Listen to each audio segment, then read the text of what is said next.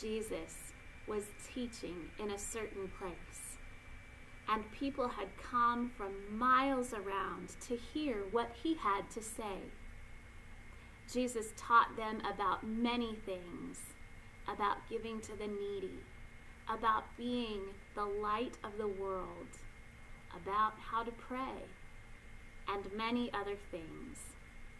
But when Jesus neared the end of his time in that place, he said to the people, Whoever hears these words of mine and does what they say is like a wise person who builds a house on a solid rock.